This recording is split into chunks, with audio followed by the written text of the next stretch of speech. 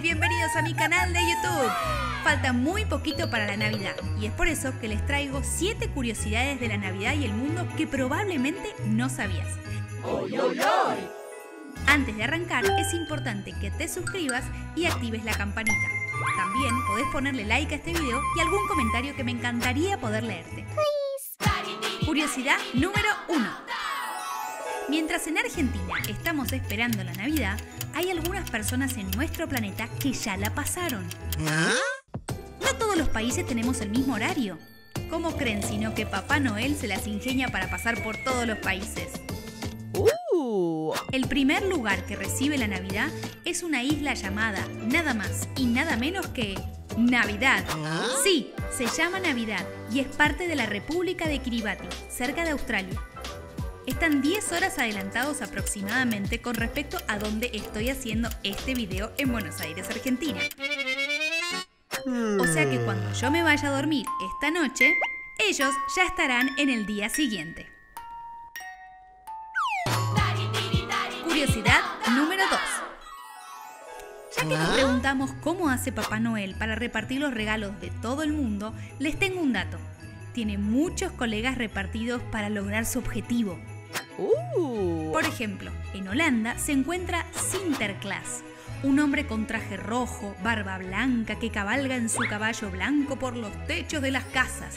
Es quien trae, por ejemplo, el calendario de Adviento que les enseñé a realizar el capítulo anterior. Ded Moroz es la versión rusa de Papá Noel. Su significado es abuelo frío o abuelo de las nieves y además va acompañado de su nieta, Dunche Lao también es como un Papá Noel, pero chino. Usando los mismos colores, pero con estampas chinas y un gorro cilíndrico. Se dice que en Italia nace Befana, que como no acompañó a los Reyes Magos a Belén cuando ellos se lo pidieron y luego se arrepintió, se perdió por ahí y comenzó a regalar dulces a los niños por si alguno era Jesús. Para varios países de Latinoamérica es el mismísimo Jesús quien reparte los regalos. Como si no tuviera labor suficiente.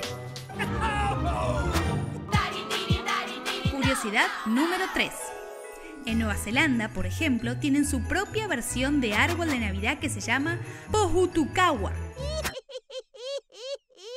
Lo dije bien, Pohutukawa este árbol florece en diciembre y tiene unas flores carmesí, por lo que se asocia con los colores navideños.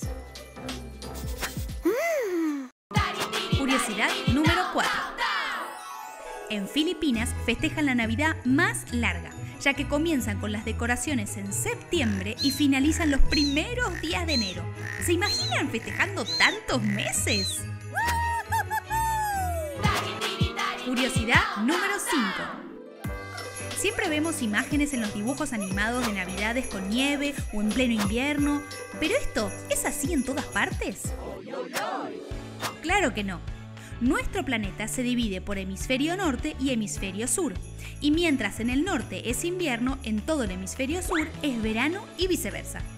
Es por eso que tenemos muy diferentes maneras de festejarlo. Por ejemplo, en el hemisferio sur solemos decorar un pino pero de plástico, que guardamos y reutilizamos año tras año, ya que no tenemos el auténtico pino de nieve. Mientras que en Alemania, por ejemplo, que es hemisferio norte, suelen ir a un parque lleno de pinos reales. Eligen uno, lo cortan y se lo llevan a sus casas para decorar, para luego desecharlos cuando terminan. Curiosidad número 6. Por otra parte, existen países como Estados Unidos que tienen una hermosa cena familiar el 24 de diciembre para luego despertarse el 25 y abrir los regalos que Santa dejó por la noche. Mientras en otros países, como Argentina, solemos tener una hermosa cena de Nochebuena el 24 para abrir los regalos esa misma noche y festejar hasta tarde. Curiosidad número 7. Sabemos que la comida es algo muy importante en estas fechas y solemos sacar las mejores recetas de la abuela para deleitar a nuestros parientes. Sin embargo, en Japón, la comida tradicional de Navidad es el pollo frito de una importante cadena mundial.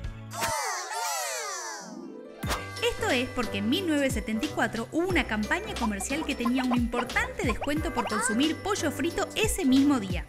Es así que se convirtió en una tradición desde entonces. ¡Oh, no!